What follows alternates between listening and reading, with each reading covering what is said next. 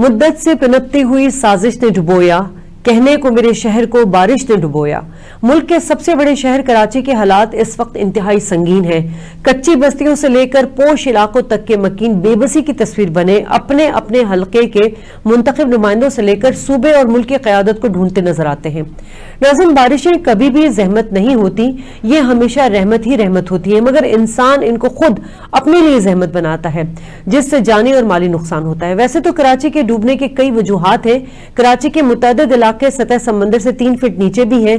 कराची अब अमली तौर पर यह कंक्रीट का जंगल बन चुका है, जहाँ नकासी आपके तमाम जरियों पर नाजायज तजावजात कायम कर दिए गए हैं। कोई मास्टर प्लान नहीं बनाया गया। कराची को हसरत यास की तस्वीर बनाने में विफाकी और सूबाई हुकूमतों के अलावा रियासती इदारों का भी किरदार नज़र आ रहा है। इन तमाम पहलुओं पर बात करेंगे आज के प्रोग्राम में। शाजिया खान आपको प्रोग्राम में खुश आमदेद कहती है, लेकिन पहले देखते हैं ये पैकेज। एक अरसे तक पाकिस्तान का वाहिद पोर्ट सिटी रहने वाला कराची, अपने रेवेन्यू से मुल्क चलाने वाला कराची, गरीब की माँ कराची, हर बेरोज़गार का आसरा कराची। पाकिस्तान के देही इलाकों से सबसे ज़्यादा हिजरत कराची आने के लिए की जाती है। ज़ाहिर है, कराची सबका है, लेकिन क्या इसको कोई अपना समझता है?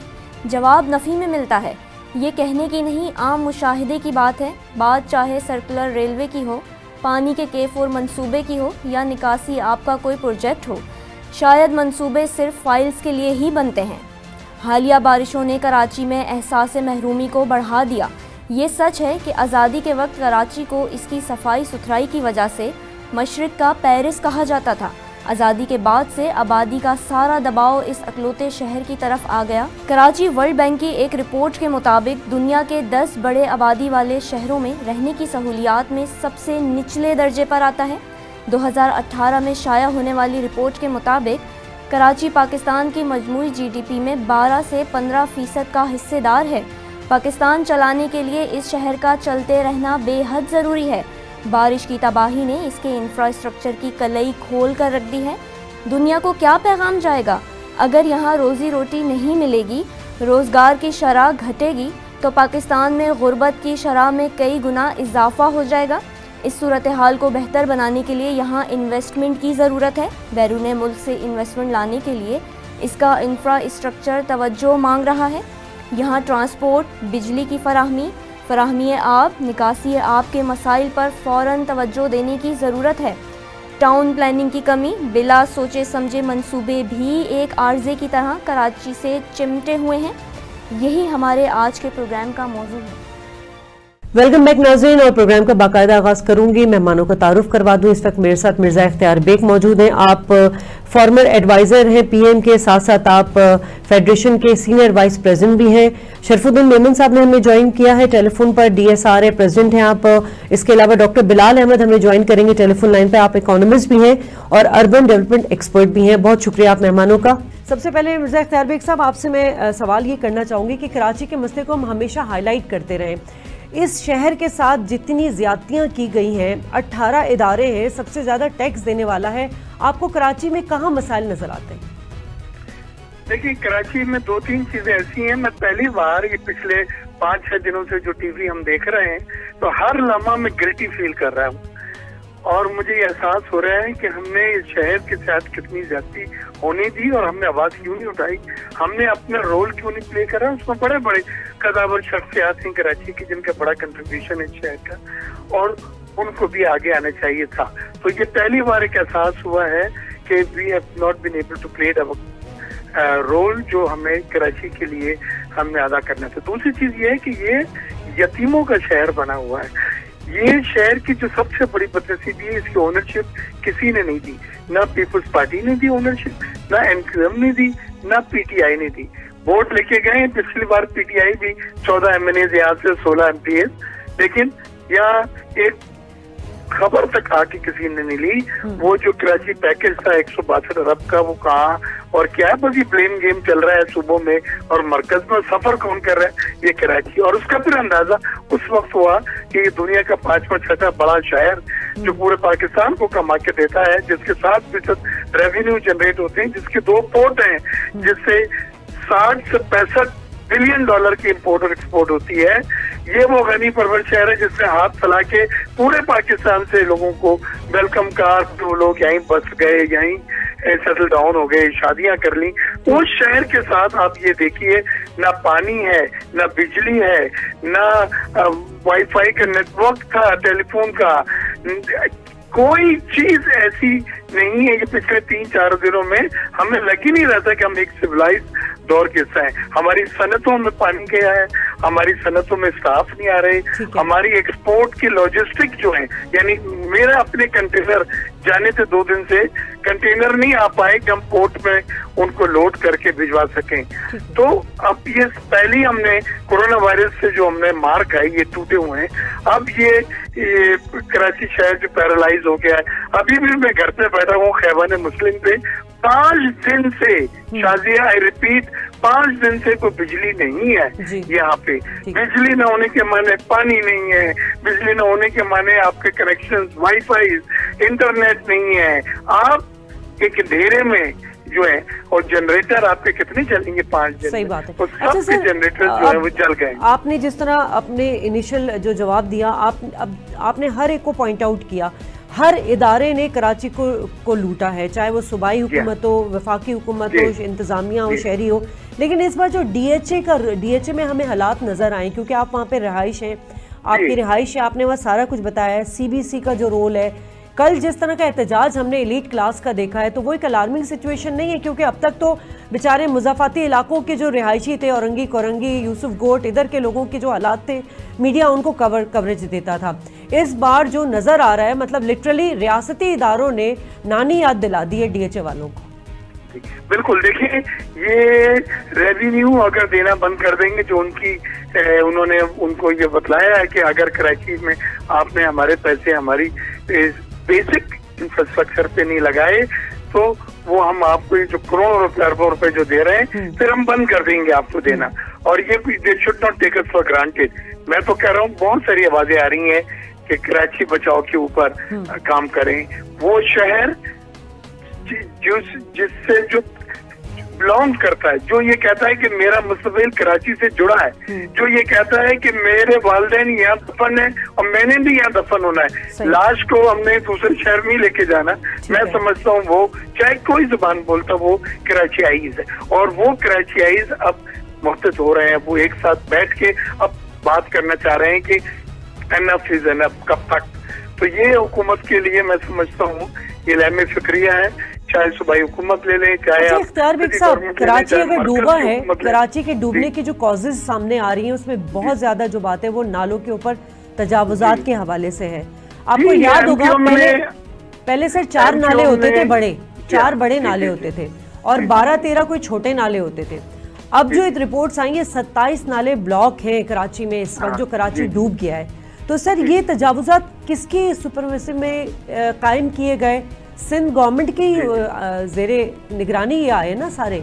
अब सिंध बिल्डिंग अथॉरिटी ही इस सब चीज़ों की जिम्मेदार है। सुप्रीम कोर्ट भी पहली चीज़ तो ये है। कि ये नाले और उसके ऊपर जो इंकोचमेंट बनी जो मकानात बने कच्ची आबादियाँ हुई ये एम क्यू एम की अथॉरिटी थी उन्होंने इनको रेगुलराइज करा।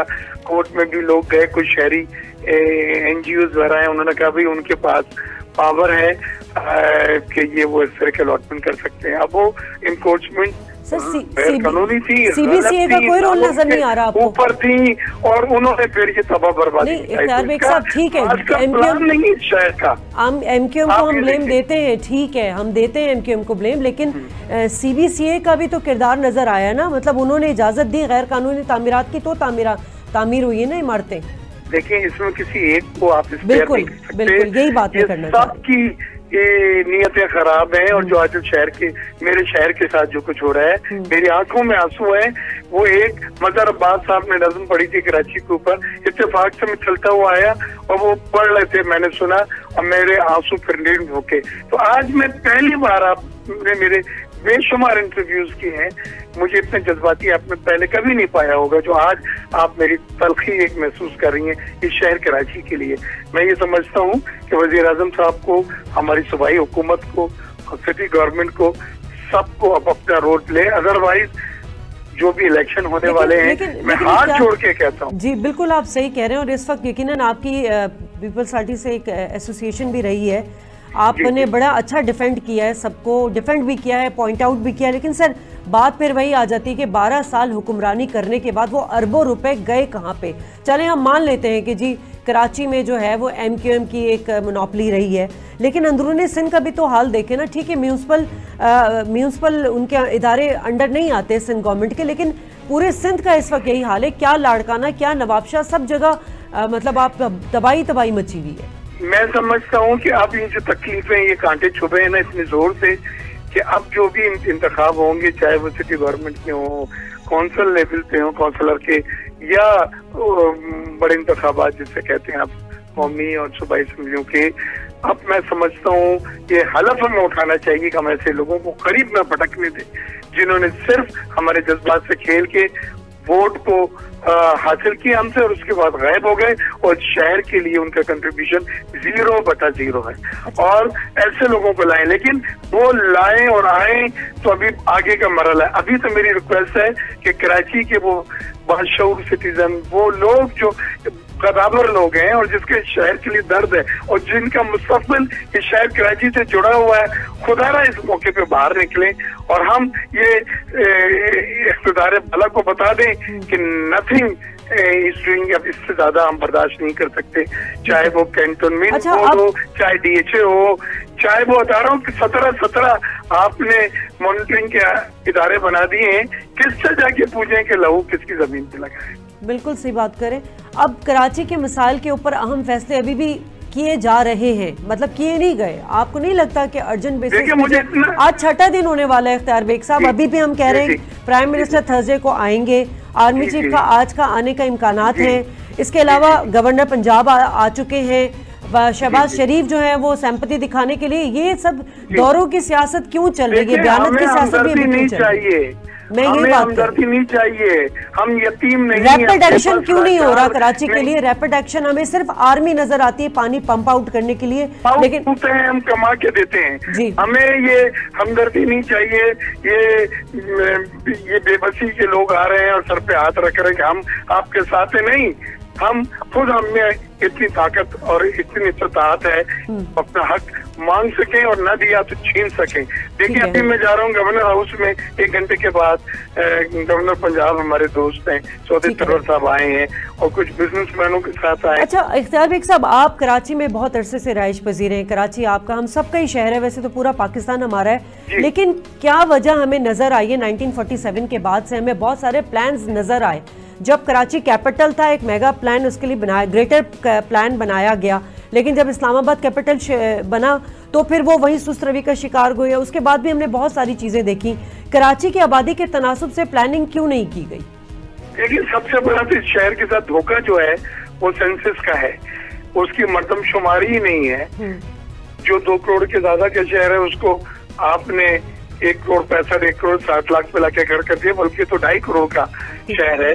तो जब तक आप एक सेंसस में एक मरदमशुमारी में आबादी के सही फिगर नहीं आपके पास होगी एक डेटा नहीं होगा हम्म। आप प्लानिंग कर ही नहीं सकते। सही बात आप पानी की रिक्वायरमेंट नहीं निकाल सकते बिजली की रिक्वायरमेंट स्टोरेज की रिक्वायरमेंट और बाकी सिविक कम्युनिटीज की रिक्वायरमेंट नहीं निकाल सकते। तो पहले तो यह है कि हम एक सही फिगर पे पहुँचे और वो मुताला का इदारे उसको माने कि कराची जो है वो ढाई करोड़ का आबादी का शहर है तो उसके हिसाब से। दूसरा मास्टर प्लान उसका बेहद ज़रूरी है कि वो बने और वो मास्टर प्लान वो होता है कि जिसमें आपकी पूरी प्लानिंग होती है इस शहर को सिविक कम्युनिटीज देने के लिए। तो ये शहर तो गरीब परवर हाथ फैला के वेलकम करता रहा है। लेकिन जो लोग जिस तरह से आए हैं उसके हिसाब से यहाँ की जो एजेंसीज है उन्होंने कभी भी इंफ्रास्ट्रक्चर को अच्छा आप चूँकि आप चूँकि बिज़नेस फोरम से भी वाबस्ता हैं और फेडरेशन के आप वाइस प्रेसिडेंट भी हैं। Siraj senior vice president ji senior vice president Siraj Teli साहब ने कहा था कि कराची को हैंडओवर कर दिया जाए आर्मी के। क्या आप भी ये चीज़ इंडोज करते हैं? क्या वाकई इसका हल यही कि कराची को आर्मी के हैंडओवर कर दिया जाए? देखिए ये जमहूरी हुकूमतों में ऐसी बातें करना आ, मुझे कुछ आ, मैं कंफर्टेबल नहीं होता लेकिन क्या हम उनसे आसमान के तारे मांग रहे हैं? चाँद मांग रहे हैं सूरज मांग रहे हैं। हम तो ये बेसिक हम पानी के में गिरे हुए पैर उठा के स्कूल और मस्जिद नहीं जा सकते तो हम कहते हैं कि पानी खड़ा ना हो। हम चाहते हैं बिजली मिले अगर हम एसी नहीं तो पंखा ही चला सकें कम अज कम। हमारे नेटवर्किंग हो हम अपना बिज़नेस घर बैठते कर सकें। ये भी चीज़ें मैसर बेसिक बुनियादी सहूलतें अगर नहीं है तो नहीं तो आप समझते हैं कि हमारी सूबाई हुकूमत में हमारी कार्तिक साहब आप समझते हैं हमारी सूबाई हुकूमत में हमारी विफाकी हुकूमत में ये अहलियत है कि वो इस डिजास्टर से कराची को रैपिड निकाल सके? देखिए अगर ब्लेम गेम नहीं हो तो कर सकते हैं। अभी ये एनडीए ने यहाँ पे और फ्रंटियर वर्क ऑर्गेनाइजेशन के साथ काम शुरू किया था और वो बारिश शुरू हो गई। टाइम उनको नहीं मिल सका कि कितने नाले साफ़ हुए हैं और कितने नहीं हुए। लेकिन मैं ये समझता हूँ कि हमें ग्रास रूट लेवल पे पावर की मुंतकली वसाइल के साथ हम्म। इसका जवाब है। और आ, हमें ऐसे ईमानदार लोग लाएँ जो क्रेडिबल लोग हों नॉन कंट्रोवर्शियल लोग हों जिनके शहर का दर्द हो और वो डिलीवर कर सकें। हमें ये नहीं देखना है कि उसका उस जमात से एफिलिएशन है और उसका उस पार्टी के साथ सॉफ्ट कॉर्नर है। मैं ये समझता हूँ इस बार इस बारिश ने ये बिल्कुल वाजे एक मैसेज अक्रॉस द कंट्री भेज दिया है। कि आप इस शहर के साथ मजीद ज्यादती कबूल नहीं है बर्दाश्त नहीं की अच्छा, जाएगी। और यही बातें होती हैं फिर लोग कहते हैं अलहदा सुबह बनाया जाए कराची को अलहदा एडमिनिस्ट्रेटिव सिटी बनाया जाए फिर उसमें तासुब की बातें निकलती हैं ये फिर वो एक दूसरी तरफ़ आ, सोच चली जाती है। हम्म। हम सब परचम की तरह एक हैं और हर शहर हमारे लिए इतनी अहमियत रखता है, जितना कराची लेकिन क्योंकि इस शहर में मैं पैदा हुआ हूँ और मेरे वालदेन यहाँ और मुझे भी यही दफन होना है, उस लिहाज से मुझ पे एक कर्जा है। और वो कर्जा है कि आपके प्रोग्राम के तहत भी मैं ये हकाम बाला को एक मैसेज दूँ कि देखिए, अंदर बहुत तलखियाँ बढ़ गई हैं। इस शहर की और इस मुल्क की तरक्की के लिए अब ज़रूरी यही है कि आप उनका इस शहर का हक उसको दें और इस शहर की वो तमाम शिकायतें जो कंप्लेन है हमारी हम्म। वो अब संजीवी से दूर करें अगर ये कमाऊपुत शहर ने हाथ खींच लिया और आप रेवेन्यू आपको नहीं मिल सका तो आप कोलैप्स हो जाएँगे क्योंकि 60 परसेंट रेवेन्यू इस शहर से आता है हम्म। और ये शहर जो है कमाऊपूत होने के नाते हमारी पाकिस्तान को चलाता है, सर। है। पूरे पाकिस्तान की इकोनॉमी यहाँ से चलती जी बिल्कुल। पूरे पाकिस्तान की इकोनॉमी का शाजिया ये बैरोमीटर है।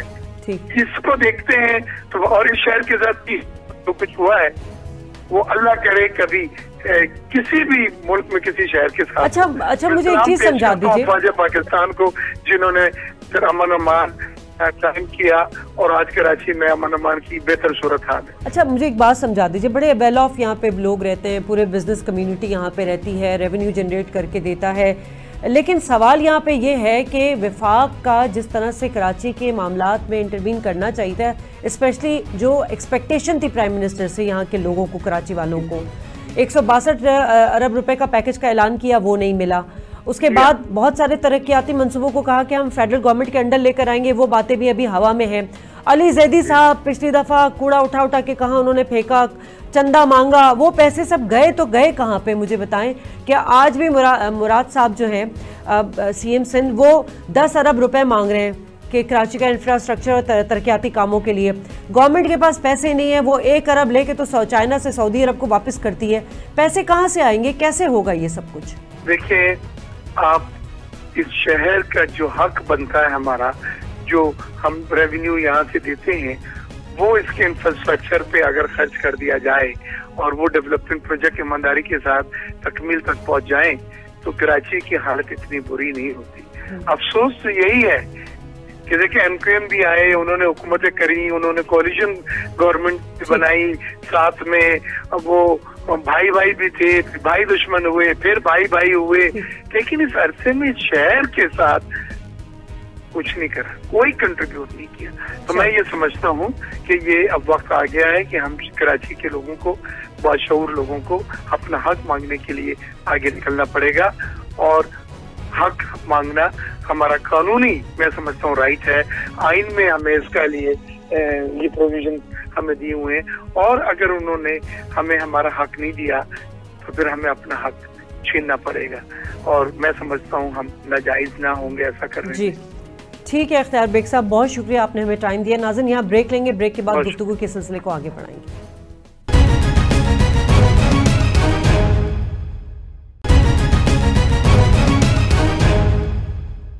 वेलकम बैक नाजिन और इस वक्त मेरे साथ टेलीफोन लाइन पर मौजूद है शरफुद्दीन मेमन साहब। शरफुद्दीन साहब इस वक्त जो मामूल से ज़्यादा की बारिशें हुई तो बड़े पोल पट्टी खुल गए। वैसे तो नॉर्मल बारिशें होती थी तो कराची वैसे बह जाता था लेकिन इस बार इस बार जो अनोखी चीज़ हुई है वो ये कि डिफेंस इस बार जो है ना जो एक लाइफ स्टाइल जिसे लोग एग्ज़ाम्पल के तौर पर देखते थे तो वो पूरा का पूरा डूब गया है। क्या वजूहत नज़र आ रही हैं आपको? देखिए अब ये पूरा कराची डूब गया है और जो कर रहा है डिफेंस और क्लिफ्टन की जो बात हम कर रहे हैं कि पहली मरतबा हुआ है कि डिफेंस और क्लिफ्टन जो है इतना बुरी तरह अफेक्ट हुआ है। ज़ाहिर है ये एक्स्ट्रॉर्डनरी बारिश थी और एक्सपेक्टेड भी नहीं था। और जो हमारा इंफ्रास्ट्रक्चर है पूरे शहर का और डिफेंस और क्लिफ्टन का भी आपके सामने है ये इंफ्रास्ट्रक्चर जो है इसको ज़्यादा बर्दाश्त नहीं कर सका। और ख़ास तौर पे जो इन्होंने डीएचए ने जो स्ट्रॉन्ग वाटर ड्रेन्स बनाए थे उनकी वो कैपेसिटी नहीं थी। और जो उन्होंने बताया कि उनकी कैपेसिटी थी कि डेढ़ सौ मिलीमीटर रेन अगर पड़ेगी तो उसको बर्दाश्त करेंगे। मगर जो आखिरी स्पेल जो पांचवा स्पेल आया था इसमें तकरीबन ढाई सौ मिलीमीटर के करीब रेन पड़ी है। तो उनका ये कहना है कि ये वो ट्रेन जो है उन्होंने उस ज़रा उसको उनकी कैपेसिटी नहीं थी कि वो उसको कर सके। और उसके अलावा सबसे जो बुनियादी बात है कि ये ट्रेन जो है 2007 में पड़े थे। और आप भी डिफेंस से वाकिफ हैं और आपको पता है कि ये ट्रेन अगर आप देखेंगे कि कुछ फ़ेज़ सिक्स के इलाके में खास तौर पे और ये खयाबन शहर जो है उसमें उन्होंने ड्रेन जो बनाया है ये स्ट्रॉन्ग स्ट्रॉन्ग वाटर ड्रेन जो बनाया है इसको बिल्कुल रोड के बीच में बनाया है। और इसकी जो इंजीनियरिंग है वो हमारी समझ में तो नहीं आती कि आपने रोड के बीच में बनाया है आपकी गाड़ियों का नुकसान हो रहा है और जिस तरह की सिचुएशन है। तो ज़ाहिर है अब ये आप मतलब हम इस पे अब क्या बोल सकते हैं कि इस बारिश में वो जो है उसमें गाड़ियाँ गिर गई हैं गाड़ियों का नुकसान हुआ है और जिस तरह पानी भरा अभी भी भरा हुआ है पानी और इंफ्रास्ट्रक्चर में जो खास तौर पे जो ये चीज़ें तो उसके अलावा शरफुद्दीन साहब पानी को पंप आउट क्यों नहीं किया जा रहा? नहीं, पंप इनके पास वो कैपेसिटी नहीं है ना, मैं आपको क्या बताऊँ, ये कहने के लिए तो बहुत इन्होंने कोशिश की है सीबीसी ने, ऐसा नहीं है कि नहीं की है। सीबीसी ने भी कोशिश की है डीएचए ने भी अपनी तरफ़ से कोशिश की है, मगर ये ये प्रिपेयर नहीं थे।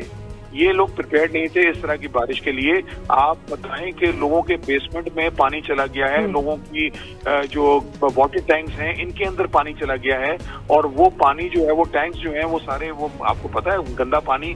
अब वो कहाँ से मतलब लोग तो अब चार चार दिन बिजली जो है वो नहीं थी इलाकों में और अभी भी कुछ इलाकों में बिजली नहीं है बिल्कुल।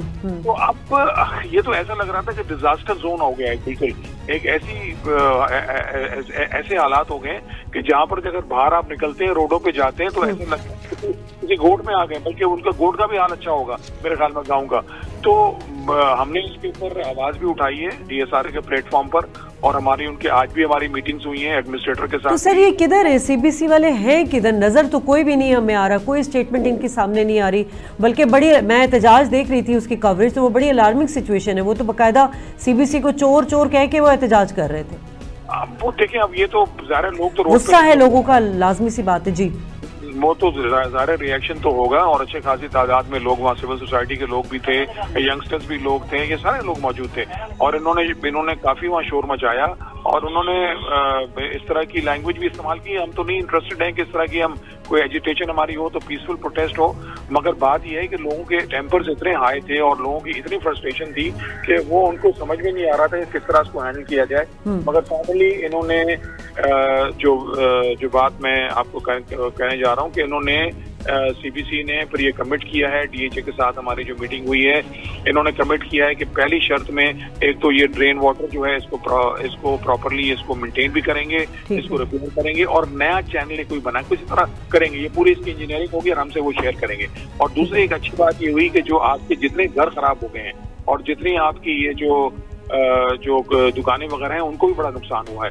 तो वहाँ पर ये जो है वो एक उन्होंने ये कमिट किया है कि वो जो है आपका आ, आ, क्या कहते हैं आ, ये जो आपकी मेंटेनेंस होगी ना जो मतलब जो आपको परमिशन लेनी पड़ती है डीएचए से हम्म। अगर अगर आपको वो नहीं लेनी पड़ेगी हाँ वो अगर आपको एनओसी देनी पड़ती है तो वो एनओसी अब चार महीने के लिए उन्होंने तकरीबन उसको वेव ऑफ़ कर दिया है हम्म। कि आप अपने घर की रिपेयरिंग करेंगे उसको पेंट करेंगे या उसकी जो दुकान होगी उसको आप रिपेयर करेंगे। तो हर किस्म की रिपेयर के लिए आपको डीएचए से एनओसी लेने की ज़रूरत नहीं है। बायलॉज को आपको फॉलो करना होगा। तो ये हमारी हमने इनसे इस मीटिंग में हमने ये उनसे कमिटमेंट ले ली। तो आवाम वहाँ पे जो रिहायशी हैं डीएचए के वो कितने मुतमिन है ये जो सीबीसी ने कमिट किया या जो कम्पनसेट कर रहे हैं वो? और इसके अलावा एक और भी मैं आपसे बात कर दूँ वो तो फिर हमने जब हम आज ही हमारी मीटिंग हुई है तो हम उनसे शेयर करेंगे हमारी ये जो है ये जो हमारे रेजिडेंट्स हैं इनके साथ शेयर करेंगे। हमने टैक्सेस जो है वो उस पे भी हमने उनसे कहा है कि उस पर हमें डिस्काउंट दिया जाए और हमें उस पे वो वेव किया जाए ताकि कम अज कम कॉम्पनसेशन इस तरह की कॉम्पनसेशन हो जाए। और भी बहुत सारी बातें हुई हैं पानी का इशू भी जो है वो बहुत पुराना इशू है। उसके ऊपर भी हमने उनसे बात की है कि देखें ये पानी जो है वो ज़ाहिर है हमें अभी भी नहीं मिल रहा और वो अच्छा पानी अच्छा एक पानी के ऊपर ही आपने बात की तो मैं आपसे पूछना चाहूँगी कि डीएचए में कोई पानी की लाइन नहीं है वो सब टैंकर आते हैं वहाँ पे। नहीं तो- नहीं शादी- शाजिया ऐसा नहीं है। अच्छा। के जो फ़ेज़ एट का इला, इलाका है उसमें जो है वो पानी की लाइन जो है वो वो मौजूद तो है लाइने मगर वहाँ पानी की सप्लाई नहीं है। तो अच्छा। हाँ क्यों? उसकी वजह क्या है? उसकी वजह बस अब यही है कि ये ये इन्होंने अनाउंस तो कर दिया इन्होंने, मगर वो लिवेबल इस पानी के लिहाज से वो हाई नहीं वो लिवेबल इसलिए कि पानी जो है वो जब तक आप सप्लाई लाइन जो है, आपकी जो हमारी रिक्वायरमेंट है, वो तकरीबन 12 एमजीडी है 12 और बल्कि आज की मीटिंग में तो किसी ने कहा था कि 15 से 16 एमजीडी है। और जो जो वहाँ से जो सप्लाई हो रही है, वो 4.5 और 4.5 या 5 से ज़्यादा नहीं मिलती पानी नहीं मिलता।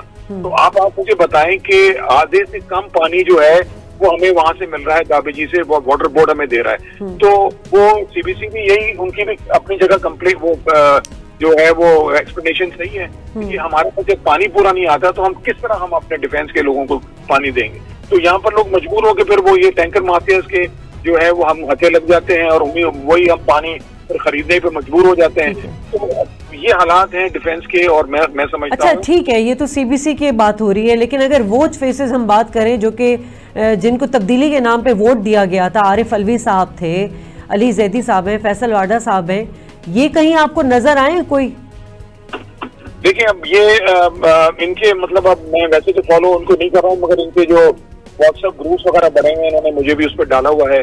वहाँ इनके शहजाद हैं आफ्ताब सिद्दीकी हैं। आफ्ताब सिद्दीकी को तो मैंने और शहजाद को काम करते हुए मैंने मैंने भी देखा है। मैं इन तीनों की बात कर रही हूँ। ये कहीं आपको नज़र आ रहे हैं? क्योंकि कल प्रोटेस्ट में जो है आरिफ अलवी साहब को बड़ा याद किया गया था।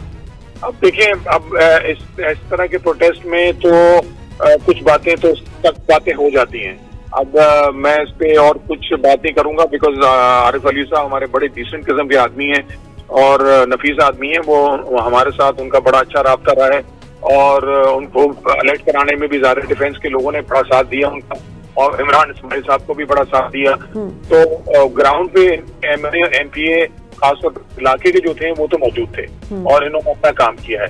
और मैं आपको सीबीसी का भी बता दूँ कि सीबीसी भी मेहनत ज़रूर की है। उन्होंने भी ये नहीं कि उन्होंने हैंड कर दिए थे। जो हमारे सीओ साहब हैं वो भी ग्राउंड पर नज़र आए थे। उन्होंने भी काफ़ी इलाके थे जिसके अंदर खुद वो उन चीज़ों को मॉनिटर कर रहे थे।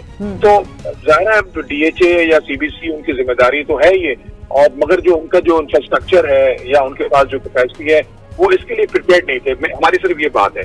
और दूसरी बात जो इसमें हमें जो कमी नज़र आई वो ये थी कि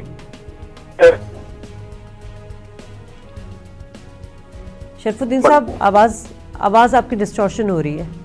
मैंने कहा इमरजेंसी सेंटर बनाए तो ज़रूर है। जी। मगर इमरजेंसी सेंटर जो है उनको पब्लिकली किसी को पता ही नहीं है कहाँ पर है। हम्म। तो वो भी लोगों को पता होना चाहिए। तो हमने आज की मीटिंग में ये इनसे कहा था कि भाई आप अपना एक फोकल पर्सन बना लें और एक एक ही प्लेटफॉर्म पर एक ही पेज पे सीबीसी और डीएचए मौजूद हो। ताकि हमारी कंप्लेन अगर हमें करनी हो तो हम फौरी तौर पर हम आप लोगों के कंप्लेन करें जो डीएचए को भी पहुँचे। और सीबीसी को भी पहुँचे। अलग अलग ना मतलब ये ऐसा होता है कि हम सीबीसी को अलग बताएँ डीएचए को अलग बताएँ तो फिर इन चीज़ों को मतलब आज जो मीटिंग हुई थी मैं बहुत अच्छी मीटिंग हुई इसमें सीओ भी मौजूद थे उसमें एडमिनिस्ट्रेटर का डिफेंस वो भी मौजूद थे और स्टेशन कमांडर भी मौजूद थे। तो बिगड़े अफसर थे और मिडल मुस्तफ़ा वो दोनों मौजूद थे। तो उनके साथ उनकी जो जो बातें हुई वो बहुत पॉजिटिव बात हुई और उनकी तरफ़ से तो यही कि हम चाहते हैं हमें साथ मिलकर काम करना चाहते हैं। चले आपकी आवाज़ ब्रेक हो रही है। शरफुद्दीन साहब बहुत शुक्रिया आपने वक्त दिया। नाजन यहाँ लेते हैं एक ब्रेक और ब्रेक के बाद जब वापस आएँगे तो कुछ इंफ्रास्ट्रक्चर पे भी बात करेंगे। 1947 के बाद से कराची के लिए जो मास्टर प्लान की बात की जा रही है और जो तरक्याती काम है और क्या वजूहत है कि कराची शहर जो है वो इतने बड़े लेवल पे जो इस वक्त उसमें तबाही हो गई है। बात करेंगे इस ब्रेक के बाद।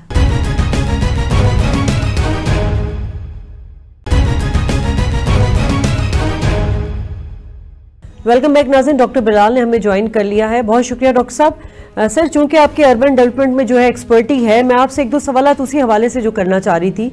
अगर हम 1947 के हवाले से देखें तो हमें वहाँ पे उस वक्त भी एक हमें तरक्याती प्लान नज़र आए। फिर 1951 में हमने देखा ग्रेटर कराची प्लान हमें नज़र आया, लेकिन चूँकि कराची कैपिटल था, फिर वो इस्लामाबाद शिफ्ट हो गया, वो सुस्त रवि का शिकार हो गया। उसके बाद रीसेटलमेंट प्लान हमें नज़र आया 1958 में।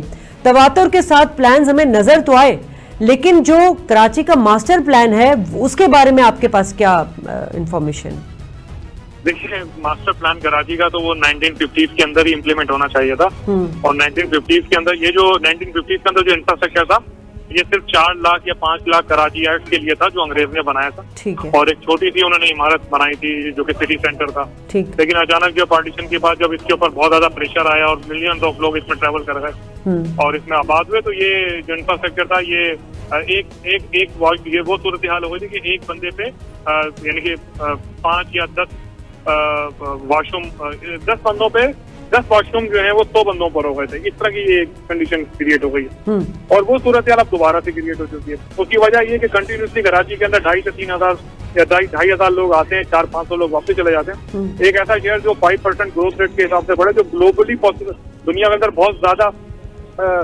यानी कि शॉकिंग किस्म का ग्रोथ रेट है हम्म। अगर कोई चीज़ फाइव परसेंट के हिसाब से बढ़े तो वो दस बीस सालों में डबल हो जाती है। इसका मतलब ये है कि आपको कराची के अंदर हर हर हर गुजरते वक्त के साथ पानी sanitation energy socio economic energy और दूसरी जो डेवलपमेंट है वो करनी होंगी उन ढाई हज़ार लोगों के लिए। ठीक। तो और ये बहुत बड़ा टास्क है। अब इस, इस सिटी को चलाने के लिए आपको सस्टेनेबल बनाना होगा और सस्टेनेबल बनाने के लिए आपको एनवायरमेंट का खास ख्याल रखना होगा एनर्जी का खास ख्याल रखना होगा और रोड एंड इंफ्रास्ट्रक्चर का खास ख्याल रखना होगा गवर्नेंस का खास ख्याल रखना होगा। सिक्योरिटी एंड सेफ्टी का बहुत ज़्यादा ख्याल रखना होगा। फाइनेंशियल प्लानिंग का ख्याल रखना होगा। ये रखना होगा सर रखना होगा कि बात तो बात की बात है। मतलब जब कराची आबादी के तनासब से इतना बढ़ गया फैल गया और एक कंक्रीट का जंगल बन चुका था तो उस वक्त ये उस वक्त की जो फेडरल गवर्नमेंट थी उस वक्त सूबाई हुकूमत तो खैर हम बारह साल से उसको तनकीद का निशाना बनाते हैं लेकिन उससे पीछे भी हम बात करेंगे ना उस वक्त क्या हालात थे क्यों ये फोकस नहीं किया गया जिस हिसाब से शहर बढ़ता जा रहा था? सोचा नहीं गया इस बात फाइनेंशियली ये फाइनेंशियल हब ज़रूर है ये ऐसी दूध देने वाली गाय जिसको घास कोई नहीं डालता नियत नियत यानी घास डालने की नियत नहीं होती हम्म। और इतने बड़े सिटीज़ हैं जिस अब देखिए दुनिया में बड़े बड़े इंफ्रास्ट्रक्चर बने हैं। चाइना के अंदर कराची से बड़े बड़े शहर आबाद हैं वहाँ पे इंफ्रास्ट्रक्चर डाला है लोगों जी। और कराची से छोटे मुल्क यानी कि अगर ढाई करोड़ आबादी है कराची की तो ऑस्ट्रेलिया की टोटल आबादी ढाई करोड़ है। इसका हम्म। मतलब है पूरा ऑस्ट्रेलिया कराची के अंदर बैठा हुआ है। और इसका जो आप इसका अंदर लगा ना ये सर सवा दो करोड़ की आबादी हो गई कराची में तो इस वक्त।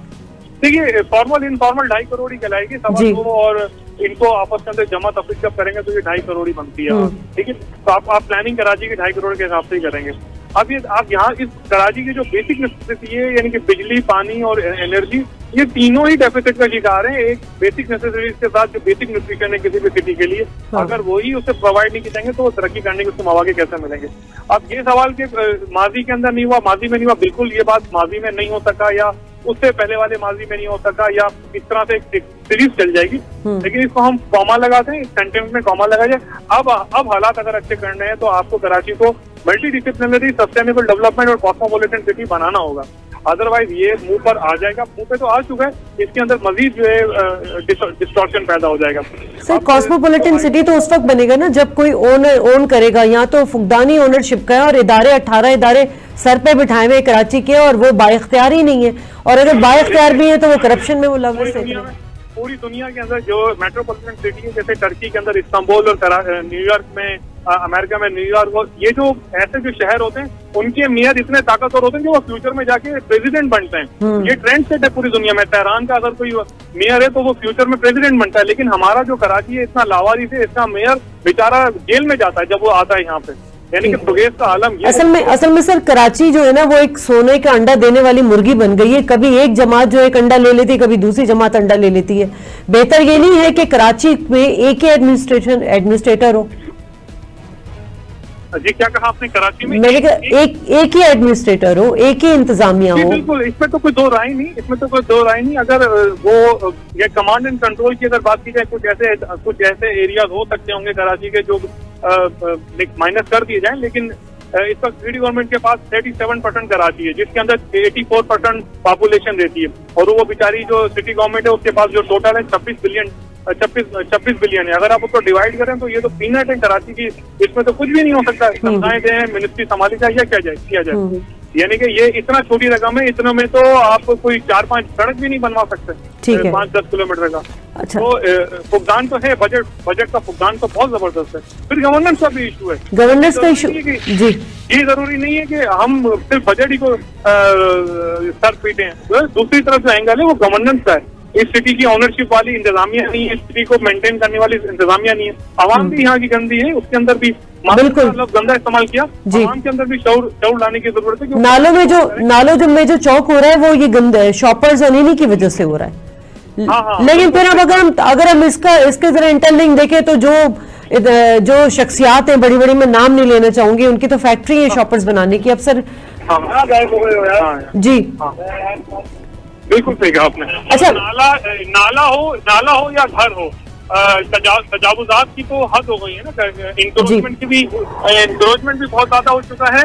और देखिए इंक्रोचमेंट कई किस्म की फाइनेंशियल इंक्रोचमेंट भी है यहाँ पर यहाँ पे फ़िज़िकल इंक्रोचमेंट भी है और यहाँ पे इमोशनल इंक्रोचमेंट भी है बायोलॉजिकल यानी कि वो कौन की इंक्रोचमेंट अगर आप सेक्शन करें तो हर किस्म की इंक्रोचमेंट है। जी।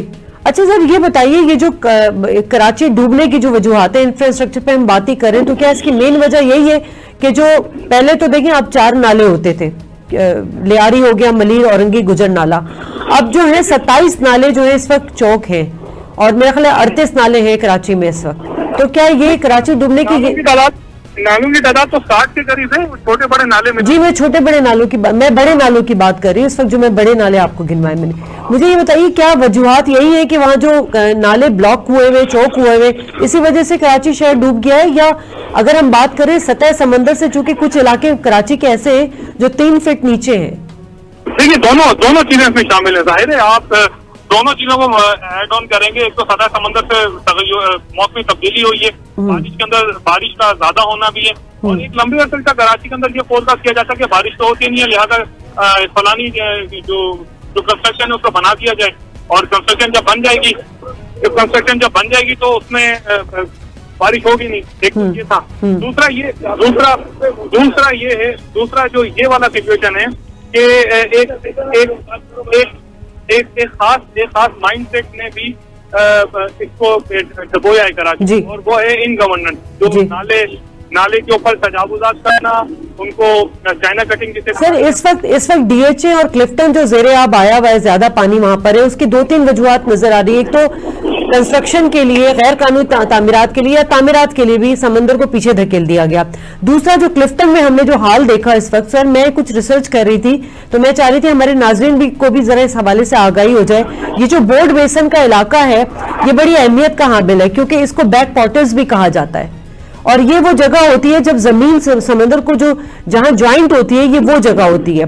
होता ये है कि जब भी जी सर थोड़ा सा इसको डिफाइन कर दीजिएगा प्लीज़ सर जी बिल्कुल आप आपका बिल्कुल सही है। अगर इसको मैथमेटिकल इक्वेशन के अंदर इसको डाल के देखें तो ये जगह हाइट और अ, ये जो बुल्ट इसका जवाब कुछ इस तरीके से है कि जो डीएचए का फ़ेज़ वन है जहाँ पे डीएचए का अपना हेडक्वार्टर है कराची का वो क्यों नहीं डूबा? वो इसलिए नहीं डूबा कि वो पुराना बना हुआ है और हाइट पे बना हुआ है और उसको प्लानिंग के साथ बनाया बाकी जो चीज़ें वो जल्दी से बनाई गई प्लानिंग के साथ नहीं बनाई गई उसके अंदर वो इंफ्रास्ट्रक्चर डाला ही नहीं गया। जो इनको डालना चाहिए था सेवेंटीज वाला जो इंफ्रास्ट्रक्चर डाला ही नहीं गया। अच्छा मैं आपको ना एक एग्ज़ाम्पल देता हूँ। ये एग्ज़ाम्पल है आइडियल लेकिन वो फुलफिल होती है इसके ऊपर। आप देखें कि एक मुल्क है नदरलैंड नदरलैंड के अंदर तो लैंड ही नहीं थी। उन्होंने समंदर के अंदर कंक्रीट डाल के लैंड निकाली और फिर उसको उन्होंने मेंटेन किया। इसका मतलब ये है कि सोल्यूशन अवेलेबल है सिर्फ़ नीयत का नीयत का फुकदान। नीयत नीयत का फुकदान है। एक तो ये एक तो ये सोल्यूशन है इसका। दूसरा सोल्यूशन ये कि सिंगापुर के अंदर भी इस तरह की कई एग्ज़ाम्पल नहीं है कि साहिल समंदर ऊपर हुआ है साहिल समंदर ऊपर है और वो जो आबादी है वो नीचे है। तो उसका हल उन्होंने बड़ा अच्छा ये निकाला है कि उन्होंने फ़र्स्ट और सेकंड के फ़र्स्ट और second जो बेसमेंट है उसके ऊपर बारिश बारिश के जो ना बारिश के नालों को इलेक्ट्रिक उसके पे किया हुआ है और वो सतह समंदर के साथ उसको मैच करके ज़मीन से उसको किया है कंस्ट्रक्शन उसकी डाली है। तो ये भी कोई टेक्निक है मॉडर्न टेक्निक है अवेलेबल है और इस टेक्निक को सिक्सटीज में बनाया गया था सोसाइटी ने। वो पाकिस्तान के अंदर अब तक नहीं पहुँची है। ठीक है। बहुत शुक्रिया, डॉक्टर बिलाल। आपका नाजिन प्रोग्राम का वक्त खत्म हुआ, लेकिन जाते जाते कराची के हवाले से एक बात करूँगी, जो कि सुप्रीम कोर्ट में चीफ जस्टिस की जो रिमार्क्स थे कि कराची जो कभी नगीना हुआ करता था, हुक्मरानों के मुफाद परस्ती ने शहर का ये हाल कर दिया है। इस वक्त भी प्लानिंग की जा रही है, लेकिन रैपिड एक्शन नहीं लिया जा रहा। आवाम ये कह रही है कि भाई कराची को संभाल ले, कोई भी संभाल ले, चाहे सूबाई हुकूमत संभाले चाहे इंतजामी हुकूमत संभाल ले, चाहे कोई रियासती इदारा ही क्यों ना संभाल ले संभाल ले और क्रेडिट भी ले ले, लेकिन कराची को ठीक कर दे। प्रोग्राम से शाजी खान को इजाज़त दीजिए, अल्लाह ने की पान